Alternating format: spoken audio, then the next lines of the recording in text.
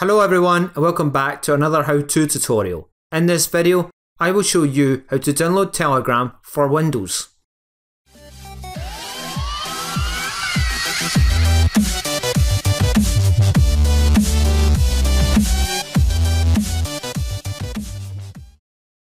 Open a web browser of your choice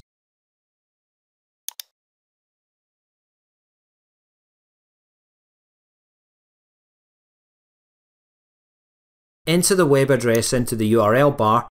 A web link will be in the video description below.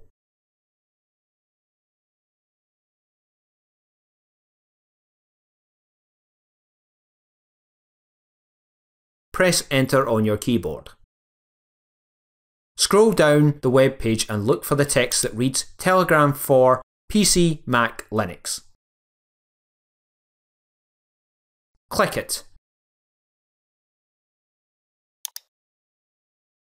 Now click the blue button with Get Telegram for Windows. Telegram installer will start to download to your PC.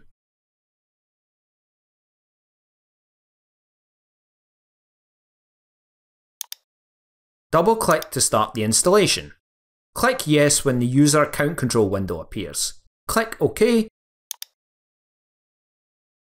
Click Next Click Next. Click Next. Click Install. Finally, click Finish. Telegram will now launch. Click the blue Start Messaging button. You will now need to enter your mobile phone number and then click Next.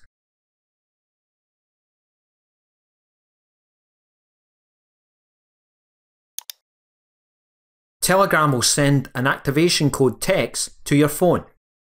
Enter the code and click Next.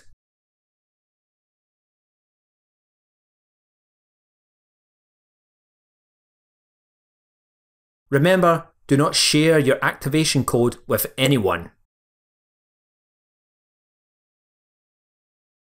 That's it. You can now use Telegram on your PC.